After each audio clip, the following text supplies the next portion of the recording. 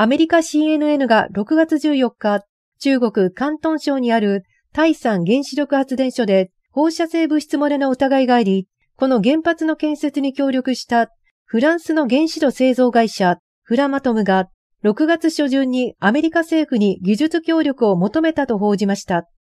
これを受け、親会社のフランス電力は同日、対産原発の性能問題の解決に努力していると発表しました。また、対産原子力発電所の安定株主である中国関東核電集団がかつてバイデン大統領の息子のハンター・バイデン氏から投資を受けたことも明らかになりました。フランス電力は6月14日、タイ山原子力発電所は現在安全に稼働しているが、発電所1号原子炉に気ガスが溜まっており、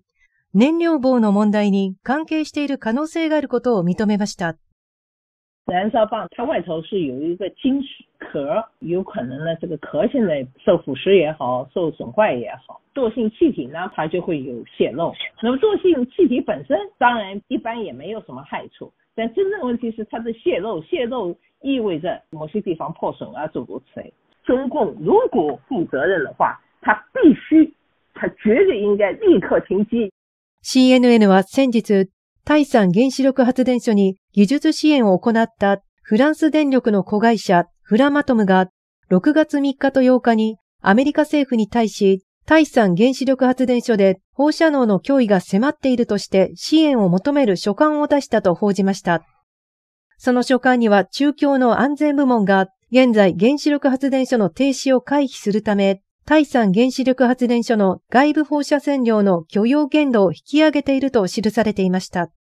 它首先第一点就是如果这个核电站停下来，有损这个中共的颜面，现在又正好是啊，中共要庆祝一百周年。那另外呢，整个珠江三角洲对于他来说，发电也是非常非常关键的。他也不想让这个经济进一步受到损失。中共这个政权当然是不把中国老百姓的人命当一回事。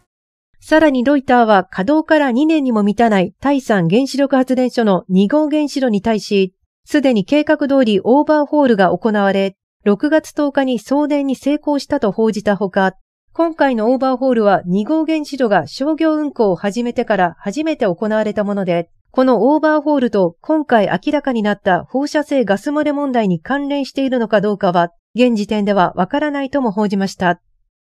所谓第三代的反应堆在中国之前，在芬兰和 Normandy 都是有建设的。可是呢，甚至因为他们的一些安全原因，到现在都没有完成。而中国的呢，就急急忙忙的给完成了。事实上、他们的安全隐患说明从頭就存在。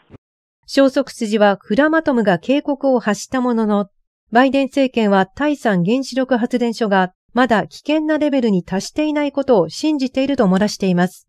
アメリカメディアのナショナルパルスは、タイ山原子力発電所の安定株主である中国関東核電集団にバイデン大統領の息子のハンター・バイデン氏が数百万ドルの投資を行ったことがあると報じました。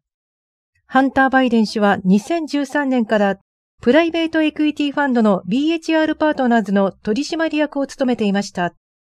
BHR パートナーズは中国関東核電集団の1000万ドルの初期投資を行った投資家の一つで、同社のウェブサイトには中国関東核電集団がその投資組合の一つとして挙げられています。ハンター・バイデン氏は2019年に BHR パートナーズの取締役会を退きましたが、今も会社のかなりの株式を保有していると言われています。NTD ジャパンがお伝えしました。